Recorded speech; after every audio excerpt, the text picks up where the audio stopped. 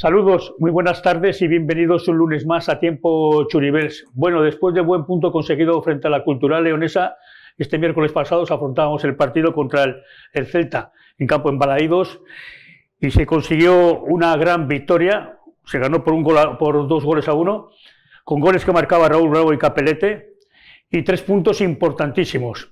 Eh, para subir en la clasificación y colocarnos en estos momentos en el séptimo puesto con 33 puntos a falta de un partido de agosto, porque el partido que teníamos este domingo para jugar eh, con el Valladolid no se pudo jugar por el tema de, saben ustedes, por el tema del COVID. Ahora analizaremos un poquito a ver cómo está la gente, veremos a ver cómo está todo, porque claro, eh, la cosa se pone, se pone difícil, porque los márgenes de tiempo son, son, son escasos.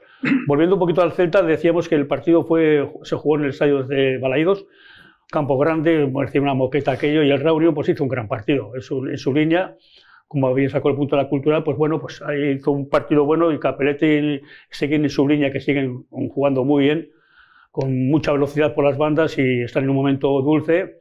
Y después Bravo también, pues que metió el gol y ese gol que acaba Capelete dieron la postre los tres puntos. Todo esto lo, analizaremos con nuestros eh, tertulianos y también tendremos, tendremos declaraciones de Aitor Zulaika y, imágenes del partido. Vamos, cuando después de las declaraciones de Aitor, volvemos con ustedes. Sabíamos, y así ha sucedido, ¿no? Ante un equipo de tanto talento tienes que correr y muchísimo. Y si es en más todavía. Eh, merecido o no, eh, no voy a entrar ahí eh, a valorar eso. Y sufrida en los últimos cinco minutos. ¿Sí? yo creo que el Celta ha entrado muy bien al partido, muy bien partido, eh, jugando muy bien a fútbol y arriesgando con la línea alta, saltando a pares. En ese tramo nosotros no hemos sabido peinar ningún balón eh, ante la presión alta de ellos, pero sabíamos que si la peinábamos una, como, como se ha visto en el segundo gol, que la íbamos a tener, ¿no? que no íbamos a encarar. Y yo creo que nos hemos puesto un 0-2 Mm, bueno, eh, cuando teníamos malas sensaciones de juego, ¿no? de estar corriendo de todo balón y poco balón. ¿no? Eh, y luego yo creo que en la segunda parte, hasta el minuto 40, 35 de la segunda parte, creo que hemos hecho un partido muy bueno, haciendo muy buena lectura del partido. Y hasta ese minuto casi no me acuerdo de casi ninguna ocasión de Celta y bueno, en una jugada desgraciada nos han metido el 1-2, ¿no? Y al final, con el 1-2, equipo de casa empuja, normal, nosotros estamos línea de 5, muchas veces la línea de 5 es para que estés un pelín más alto, pero no hemos interpretado bien ahí un movimiento, que cuando el carrero tenía que ir a carril y el central del lado tenía que salir más al costado y eso hacía que nos metiéramos en el área. Y por eso hemos sufrido en los últimos minutos más más de lo debido y evidentemente tendremos que corregir ¿no? estrategia. Allí nos metieron creo que mínimo un gol de estrategia, nos metieron el primero de gol, hoy también la ocasión más clara la ha tenido el portero rival de estrategia, eh, tenemos que corregir, eh, no, no, nos puede hacer tanto daño a la, a la, estrategia y en plan resumen diría que, que es un poco partido, un poco invertido al que vimos allí, ¿no? Eh, donde nosotros en muchos tiempos del juego estuvimos llevando mucho peso del partido y ellos nos mataron en las transiciones y yo creo que también hoy, aparte, de que los momentos generales son diferentes, eh, el partido yo creo que en general ha sido un poco a la invertida al de allí, solamente que la segunda parte como consecuencia del trabajo de la primera parte hemos tenido un pelín menos de fuelle para llegar arriba. Eh, es muy difícil, es muy difícil. Eh, estas cosas ocurren en todas las categorías. En segunda regional, en tercera red, en primera red, en primera división, pasan en todas. Y muchas veces, a corto plazo, haciendo la lectura del solo partido, es muy difícil de sacar conclusiones. Pero a la larga, un estilo determinado o un trabajo determinado da, resultados a pesar de que en esa larga trayectoria o trabajo o camino suelen pasar cosas como estas, ¿no? De 0-7 a perder, de perder 0-1 ante teóricamente un equipo de categoría inferior al tuyo, vienes a Balaidos y ganas ante un equipo para mí, lo dije en la previa, lo voy a repetir, junto con el Depor, el equipo con más talento tiene en el campo, ofensivo sobre todo, pues es difícil de hacer esa lectura a corto plazo, pero a la larga el trabajo, un, un estilo definido, pues pone, y la prima, propia competición pone a cada equipo en su, en su sitio. Bueno, pues aquí estamos en el estudio, voy a saludar a mis tertulianos. Eh, eh, buenas tardes, Paco, bienvenido. Buenas tardes. Y por Skype tenemos a Aitor Lanz. Aitor, buenas tardes y bienvenido. Buenas tardes, muchas gracias. Hacía tiempo que no te escuchábamos. Bueno, vamos a. Mm, el tiempo es justo que tenemos en televisión. Vamos a analizar un poquito lo que fue eh, el partido en Vigo, esa victoria tan importante y después ya nos metemos un poquito con el, tema del próximo partido que sería con el Deportivo La Coruña, pero que está todo pendiente a ver como si la gente que está mal se pone, se pone bien, ¿no? porque esto es un tema que nos trae a todos locos. Bueno, analízame un poquito el tema de Vigo. Bueno, yo creo que el partido del otro día al final fue creo que un muy buen partido del Real Unión, de lo que nos tiene acostumbrados fuera de casa y la verdad es que al final con todo merecimiento creo que se lleva el partido. Eh, no habría sido justo, a mi parecer, que, que, en esa última jugada que era en el larguero no, no nos hubiéramos traído los tres puntos y, y, francamente creo que vimos una de las mejores versiones del Unión en lo que va de temporada. Eh, Paco, eh, hubo cambios en la alineación, eh, sobre todo en la portería. ¿Te sorprendió? La, ¿Te sorprendió?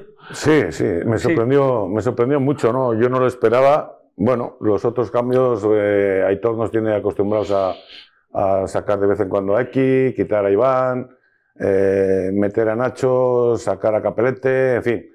Y, y, por fin vimos a Carlos Bravo en la punta del equipo, ¿no? Yo creo que se notó, volvió a meter un golito y analizando un poquito el partido, yo creo que fue un partido, como bien ha dicho Aitor, yo creo que fue un partido muy bien controlado por la Unión, fue, fue un, para mí un buen partido de la Unión eh, y, y, y, al final no merecimos pasar eh, los cinco, esos cinco o seis minutos últimos que pasamos que nos metieron el gol, que ahí no estuvo muy afortunado Patrick.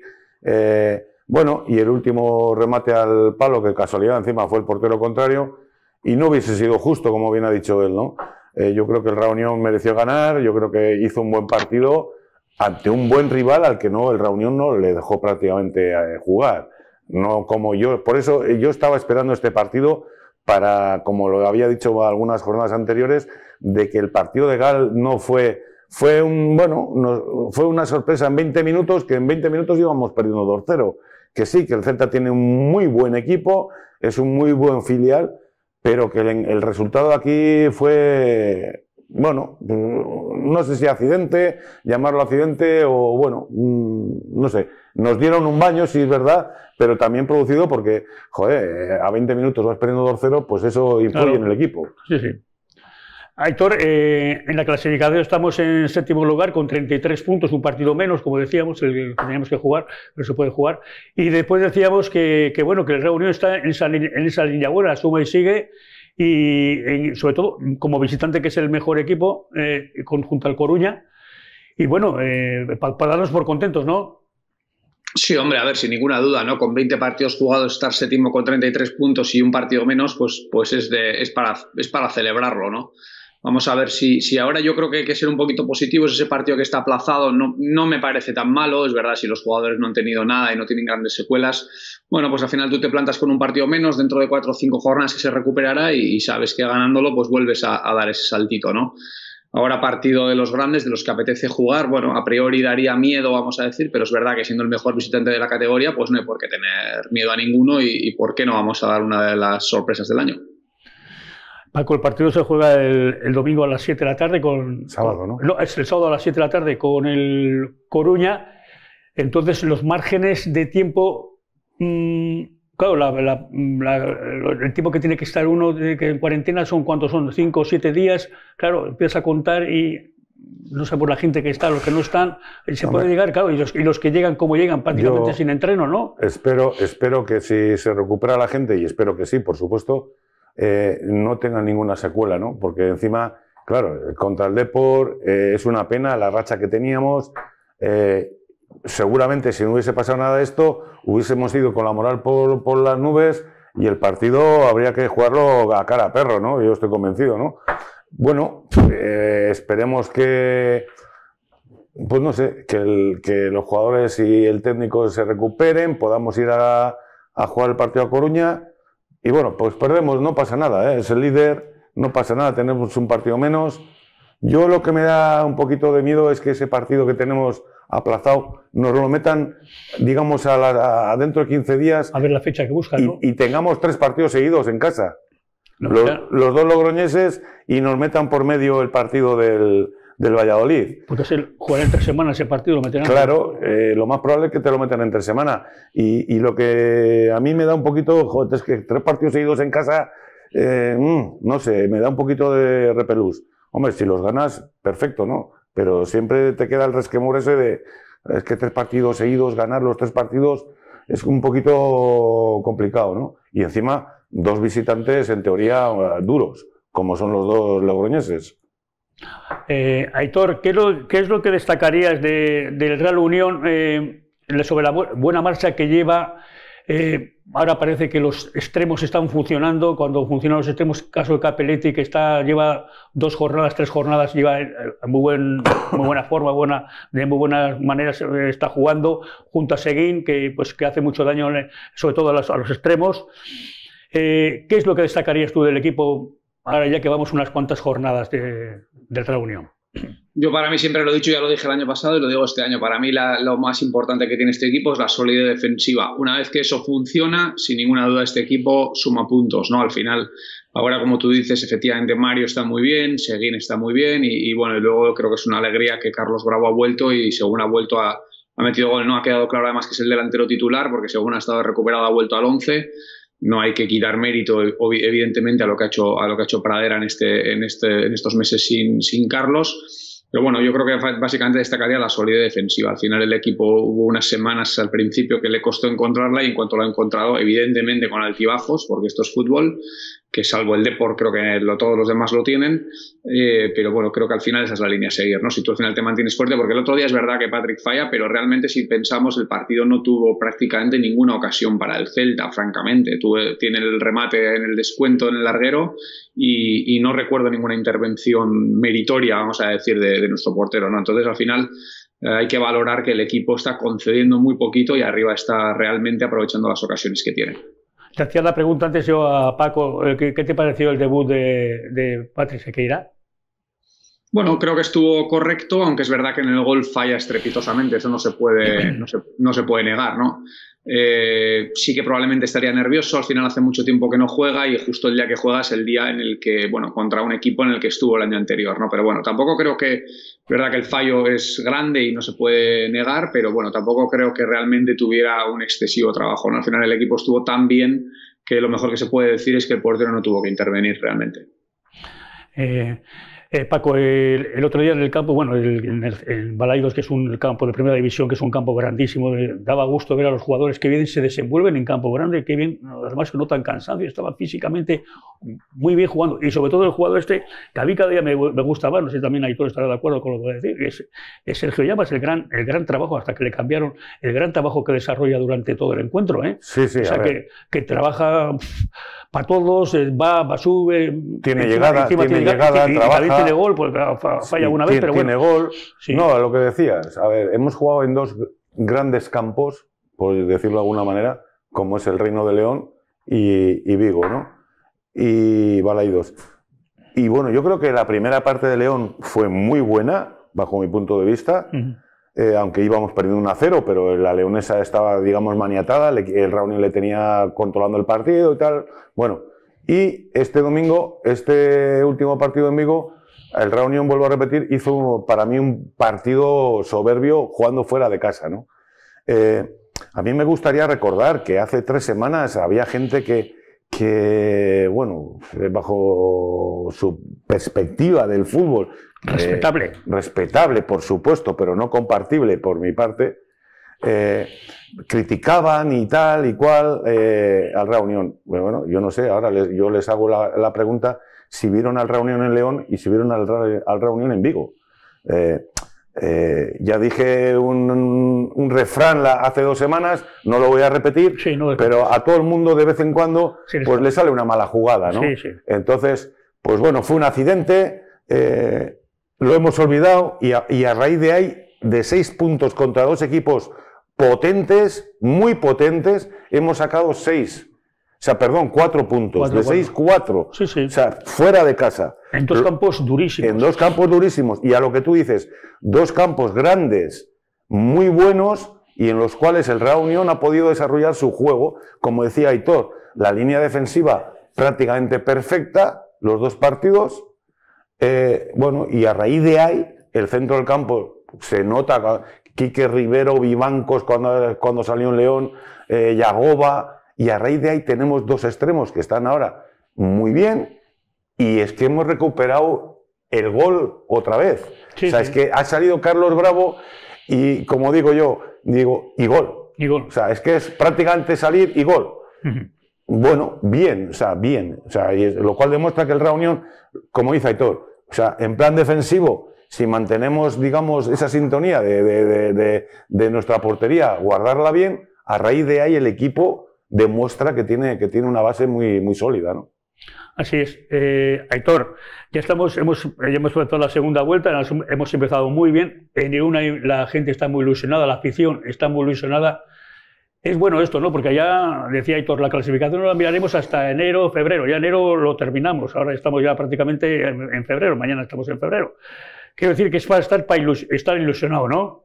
O, es, o todavía hay que estar precavido, hay que ser, ¿no?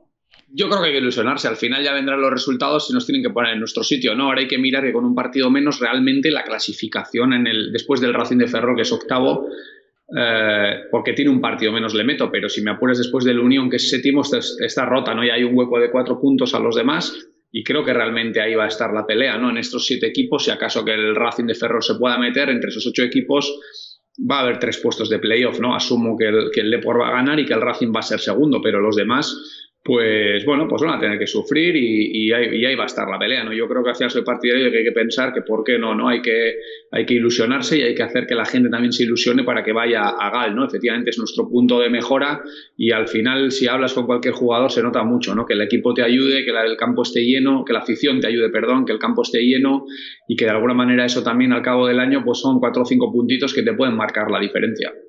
Sí, dejando, como tú bien dices, al, al Coruña, dejándole como que va a subir eh, como primero. ¿Tú le ves al Racing, le ves como segundo? Sí, yo francamente sí. Hombre, quizá el Logroñés que le pueda pelear. ¿Unionistas, ¿Unionistas, por ejemplo? No, no creo. Además, ahora estoy leyendo que parece ser que el lateral izquierdo Salinas puede salir a segunda división. Creo que sería una baja importante. Veremos qué pasa en estas últimas horas. Pero, pero yo creo que Unionistas realmente al final es un equipo parecido al nuestro, ¿no? un equipo que lucha bien, compite bien, defiende bien, pero no es un, no es un por un Racing que tiene estrellas, por así decirlo. ¿no? Nosotros tenemos muy buenos jugadores, muy buen equipo, pero no tienes esos jugadores que, como tiene el Depor, ¿no? que en un día tiene un delantero, tiene a Miku, que si lo tiene enchufado, pues te resuelve el partido por sí solo. No, y ahora recordar también que Aitor estará entrado también seguramente el delantero centro del Rayo, del Rayo Majadahonda, creo que ha fichado por un segunda división, ahora no sé qué equipo de Pues es un buen equipo el Rayo, ¿eh? el Rayo eh, Majadahonda. Es uno de los que está delante nuestro. Sí, sí. Y, y, recordar, ¿no? A los aficionados y a todo el mundo, el Reunión es séptimo, pero está a un punto del sexto, del quinto y del cuarto. O sea, ganando el partido que tenemos menos en casa con el Valladolid, eh, ahora mismo estaríamos terceros. Sí, sí. O sea, estaríamos terceros, lo cual demuestra que, bueno, hay que jugar ese partido, por supuesto. Pero recordar, por ejemplo, que este jugador, el, goleador del, del Rayo Majadahonda, ha fichado por un equipo de segunda. No sé exactamente qué equipo es, pero se, les ha hecho la Pascua, ¿no? Sí, sí. Eh, a estas alturas, que se te vaya el máximo del equipo, pues lo tienen que notar pues bastante, ¿no? El Rayo. Notar, pero claro, ese es el fútbol. Eh, Aitor, bueno, ¿tú cómo lo ves eso? ¿Cómo lo ves? No, efectivamente. Yo la verdad que también creo que podríamos haber tratado nosotros de reforzar un poquito el equipo. Al final, comparto un poquito esa visión ¿eh? que tienen desde, desde la planta noble, que se suele decir, ¿no? De, no, de no volverse locos, pero también creo que, que no todos los años vas a tener la opción de jugar un playoff y este probablemente es el año. Y no digo cambiar media plantilla, pero quizás sí que yo hubiera reforzado alguna posición, una, dos posiciones, dos detallitos y, con eso pues al final tratar de aprovechar la, la, buena ola, ¿no? Tendremos dentro de poco, no sé, estará poniéndose en forma ya Ezcurdia, ¿no? El lateral izquierdo, que también puede venir muy bien, ¿no? Es un jugador... nos quedan unas horitas todavía, ¿Eh? Héctor. ¿Tú crees que habrá alguna sorpresa? Yo creo, yo creo que no, francamente, creo que no. Pero, pero es verdad, Escurdia venga bien, sí, pero no es un jugador que te vaya a ser determinante, ¿no? De los que hablábamos antes, de los que tiene. Este no sube la banda, ¿no? Yo creo, yo creo que se podría haber aprovechado lo, que está ocurriendo en, Extremadura, con el, con el Extremadura, con el Badajoz, eh, la propia Cultu. Creo que ahí podría haber jugadores de nuestro perfil, vascos o guipuzcoanos, o que probablemente se podría haber intentado traer para reforzar posiciones que, creo que se podría haber eh, intentado. Pero bueno, también por otra parte comparto la parte de no ser un club eh, entre comillas, millonario, ¿no? Que llega allí y, trae todo lo que le parece. Pero creo que, efectivamente no hay todos los años, no va a haber oportunidad de playoff y este es un año importante. Tiene... Pero aparte de Paco y Aitor, que no, no hay fichas, ¿no? Aunque si quisiera eso, no tienes fichas. Bueno, pero, pero fácil, seguro que entre, entre todos pensamos, no sé, fácil que entre todos seguro que se nos ocurren dos o tres jugadores que no están participando mucho y es que se les podría haber gustado. Bueno, claro, claro, sí, para que entre uno tiene que salir otro. yo, yo, creo que, yo creo que Aitor y yo eh, tres, cuatro jugadores. A ver, no, pero es que no es que lo digamos Aitor y yo, es que Zulaika prácticamente lo está diciendo porque prácticamente no cuenta con, con esa gente. en un foro interno eh, mucha gente lo piensa. Claro, y cuenta, y cuenta cuando, cuando tiene alguna necesidad en algún puesto determinado, ¿no? Pero como bien dice él, el caso de la Extremadura ahora mismo, pues un par de jugadores sí que podíamos haber reforzado. Yo siempre he dicho que nos hace falta un tío, un jugador en el centro del campo. O sea, porque si, si en realidad no cuentas más que con dos jugadores o tres a lo sumo, o sea, la, temporada es muy larga. Y si tienes la oportunidad, como dice él, de que, joder, estás casi ahí, estás luchando por ese playoff, eh, una oportunidad como esta, o sea, hay que aprovecharla. Y yo creo que en algunos puestos estamos un poquito cojos. Y, y diciéndolo de Ezcurdia, a ti cuando te ceden un jugador, yo soy de la opinión de que ese jugador tiene que estar disponible desde el primer día que te lo ceden. Es que está lesionado. O sea, es, que, es que es un jugador que está lesionado y no sabemos cuál va a ser, digamos, su, rendimiento a raíz de, que empieza a entrenar con el equipo. Pero está entrenando, con, estaba entrenando, yo creo, ¿no? Eh, estaba entrenando en Zubieta. Zubieta estaba entrenando. Yo creo que encima ah, ah. estaba en Zubieta. Por lo tanto, es un jugador que yo, no sé cómo dice él, no es un jugador determinante. A Reunión le daría falta uno o dos jugadores determinantes para terminar de completar esa plantilla que está ilusionando a la gente y a la hinchada Churibel, ¿no? Podría haber sido el momento a lo mejor de pegar un zapatazo, ¿no? Aitor, y haber hecho algo, ¿no? mejor. Yo creo que al final, además que si tienes en cuenta que son jugadores que pueden estar, por ejemplo, en, pues en Badajoz, que, tiene una situación muy complicada, quizá alguno que te pudiera venir, o al final también es, son el sueldo, por muy elevado que sea, es medio año. Bueno, yo creo que, que, al final tampoco era tanto el desembolso y se podría haber buscado, pues buscar ese saltito definitivo para buscar ese, ese playoff, ¿no? Y como dice Paco, estoy totalmente de acuerdo. Al final te vino un jugador que yo no dudo de su calidad porque a mí me encanta, pero sí que es verdad que al final está lesionado, ¿no? Es un poquito te pasa como con Equi Bravo que lleva dos años y al final está jugando con el filial y, está cobrando un sueldo y, y, no le vamos a ver jugar con el primer equipo del Real Unión porque te vino lesionado también y al final no se ha recuperado, encima te lo has tenido que quedar te ha ocupado una ficha, un sueldo, un gasto y bueno, al final pues son ese tipo de situaciones que no... O sea, yo entiendo también que al final por el perfil, pues a veces tienes que buscar ese tipo de jugadores que no están en su mejor momento porque si no, no te vendrían, pero hay que medir un poco también ese riesgo, ¿no? Porque no hay que olvidar que tenemos también a... A Guille. A Guille en, en, tercera red, ¿no? Quiero decir, al final, bueno, pues hay ese tipo de cuestiones que, que hay varios casos de ese estilo, ¿no? Y, bueno, creo que se, en ese sentido se podría haber dado una vuelta. No, lo que estaba diciendo antes, por ejemplo, el jugador de este del Rayo que, ha dejado, el goleador del Rayo, Raúl Sánchez, que ha fichado por el Ibiza. Por el Ibiza. Por Ibiza de segunda, que desde que lo ha cogido Paco Gémez, pues ha, pegado, ha pegado un estirón que se ha colocado ahí, no sé si a dos o tres puntos de, del playoff. y encima el otro día 0-5 al Málaga y, en fin, que ha ido a un equipo que está, digamos, hacia arriba. Pues bueno, pues eh, habrá que jugar con lo que se tiene y, no hay más. No hay más. Sí, sí, pero lo que, ha dicho, lo que, ha dicho, Aitor, que es que aquí Bravo, en Gal no hemos visto aquí Bravo. No, porque... Eh, porque entre lesiones tal y cual, ya vino lesionado de Eibar, se ha vuelto a lesionar, ahora está jugando con el filial. Ezcurdia, ¿qué va a pasar? Lo mismo, me pregunto. ¿Vamos, a, ¿Vamos a ver debutar a Ezcurdia al 100% o lesionado? O medio lesionado. Yo voy a cruzar los dedos. Yo para mí, de momento, tengo que decir, de momento, que para mí no es un refuerzo para la reunión, porque de momento incluso no está entrenando, que yo sepa, con el reunión. Estaba entrenando hasta hace, por lo menos la semana pasada, estaba en Zubieta, entrenando con sus compañeros del Sánchez. Sí, sí, así, así es. Bueno, pues eh, ahora lo que nos toca, eh, todo el Paco, es esperar, esperar a ver cómo se puede mm, solucionar el tema este del COVID. Ahora está el tema este, vamos a ver, durante la semana ya se irán dando noticias al respecto, pero mm, yo te digo yo desde este momento que no lo veo, no lo veo fácil, ¿eh? No lo veo fácil. Yo tengo muchas dudas. Que tengas 11 personas. De que podamos ir a Coruña. ¿eh? Para sacar un bloque para jugar en Coruña, sí, no sé, yo lo veo. ¿Y en qué condiciones vas a Coruña también? lo veo, lo veo difícil, lo veo difícil. Es que no lo, sé. Lo veo muy difícil. ¿Tú, Héctor, cómo lo ves? Bueno, vamos a ver mañana los test, a ver cómo salen, que creo que les hacen mañana. Y bueno, también te digo que si hay que ir con, con, lo mínimo, por así decirlo, por, porque hay que jugar porque la federación te obligue, bueno, también es, pues quizás sea el día para, hacerlo de alguna manera, ¿no? Al final, entre comillas, es una derrota que tienes eh, casi asumida, por así decirlo. Ya sé que no, pero ya me entendéis a lo que me refiero. Y bueno, no es, el, no es el, peor escenario para en esa situación, ¿no? Creo que sería muchísimo peor que esto mismo te hubiera ocurrido la semana pasada contra el Celta, que sí es un rival tuyo. Sí, sí, pero, pero tú lo ves con lo ves muy con interrogante o no lo ves con interrogante. Eh, el tema yo no lo veo fácil, ya te digo yo.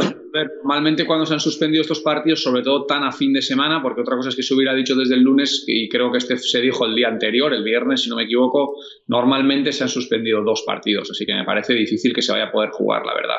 Sobre todo porque probablemente haya jugadores que no hayan dado positivo. A mí personalmente me pasó, yo al final di positivo al quinto día del contacto, por lo tanto entiendo que todavía pues igual salgan, pero otros eh, todavía igual no han salido, no han estado positivo, vamos. Tema, tema difícil, tema difícil, Paco. Sí, sí, el tema este nos está alterando a todo el mundo. Ah, eh, la, realidad es que estamos ahí, estamos en el puesto séptimo, pues estamos con 33 puntos, un partido menos, el equipo está, está con mucha, una actitud muy buena, está compitiendo muy bien. Vamos a ver si esto no, no es un traspiés para la buena marcha y la dinámica del Real Unión. Y ahora nos vamos a centrar ya, porque el tiempo pasa, como decíamos, y vamos a centrarnos en el fútbol base. En División de Honor mm, se desplazaba al campo de Oñatia contra la Doña Mendy y perdía por un gol a cero. Un que marcaba el Tuve y otra vez volvíamos de vacío. Es una pena, es una pena que no cogemos ese ritmo de dos, dos, tres victorias seguidas. Pero bueno, ahí estás allá trabajando con los suyos y bueno, es lo que hay. Es el fútbol. El Juvenil de Honor es, es un partidazo. Estuve viendo ese partido. Es un partidazo. El Reunión se enfrentaba al Betigate, que era el líder de la categoría, y le endosó 3-2. O sea, tres goles de rápidamente y después se sufrió un poquito, pero al final eh, hablé con, López, con, el, con el entrenador, con Ricarte, y le dije, se ha luchado, luchado, se ha conseguido tres puntos importantes y hay que seguir. Están en el cuarto puesto.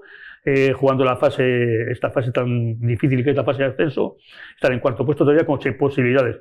En el juvenil, en primera juvenil, eh, perdía, los, el equipo de Luis Sánchez perdía por 8 a 2, o sea, le metía 8, pero claro, es un equipo que fue al campo de la Ñorga, Paco, tú le conoces de campo, campo difícil, pequeño, de noche, muy tarde, y encima iba con muchas bajas el equipo. Y, ¿Todavía, ¿Todavía se juega en campo de sí, en el campo, en el campo de Rezola, en la cementera y la de Rezola, es increíble. Sí, ese campo, ese campo, como anécdota, yo recuerdo un, un partido que fui a ver, creo que era de, de cadetes, creo que era, de la Unión precisamente allí que jugaron 11 contra 9 contra 11. Acabó con 9 la Ñorga y es tan pequeño el campo que no se notaba la diferencia de jugar dos menos en la Ñorga. Era increíble. Aitor, te voy a contar una anécdota. Un jugador mío sacó un fuera de banda, un fuera de banda, pegado al, al banderín de córner y lo sacó por el lado contrario del área de la portería del equipo contrario. O sea, con las manos sacó un fuera de banda y casi llegó al córner de, la portería contraria. porque hay un metro, un metro del área a, la línea de banda. O sea, increíble. O sea, y todavía se sigue permitiendo jugar, ahí.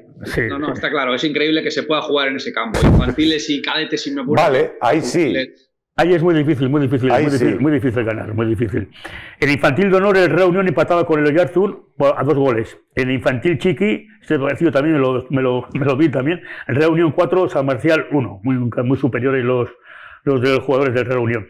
En cadete de honor, el San Marcial eh, con el Reunión ganaba el Reunión 0-2 con el cadete de honor. Y en primera cadete, eh, Real Unión 2, Vasconia 0. Este equipo está jugando la fase de ascenso también, lo entrena Imanol Petronila, que también grandísimo trabajo el que está haciendo Imanol, lo tiene en el quinto puesto y también está jugando la fase de ascenso con, buenas, con, buenos, con buenos números. A mí el que me preocupa es el equipo de regional. El Sayar, el Sayar. Ese equipo, es que además que es un equipo... Y tiene dentro, jugadores buenísimos. Dentro tiene, del tiene, organigrama del Reunión es, es un, un, equipo muy importante de cara a surtir al primer equipo, sacar jugadores y, y, no hay que perder esa categoría por nada del mundo. Así es, así es. Intentar por lo menos eh, intentar subir, pero ah. es, es, es, difícil. Está el Turin ahí como, como líder y está jugando, jugando muy bien, muy bien también. Bueno, pues eh, Aitor, muchísimas gracias. Ponte, ponte bueno, recupérate de ese esguince que tienes. Eh, no que no se ve la pierna, pero tienes un pequeño esguince, como nos has dicho. Es pequeño, ¿no? Sí, nada, es pequeño, jugando a fútbol. Al final todos cumplimos años. Habrá que retirarse ya ¿Qué te ha pasado? ¿Has estado jugando a fútbol? ¿Te has caído? ¿Qué te ha pasado? Nada, un pisotón, ¿Pisotón? absurdo. ¿Dónde andarás? ¿Dónde andarás? Mucho esfuerzo, mucho esfuerzo. ¿Dónde andarás? Hoy. Cuídate, cuídate, Aitor, cuídate, que te veo, te veo bien. Eh, Paco Almendres, muchísimas gracias. gracias a bueno, y a ver si el próximo lunes estamos aquí con buenas noticias. Y a Xavi Bermúdez, pues ahí está en la sala de máquinas, haciendo posible este, este espacio de tiempo Churibel. Ha sido un placer estar con todos ustedes y como siempre, Aupa Unión. Aupa.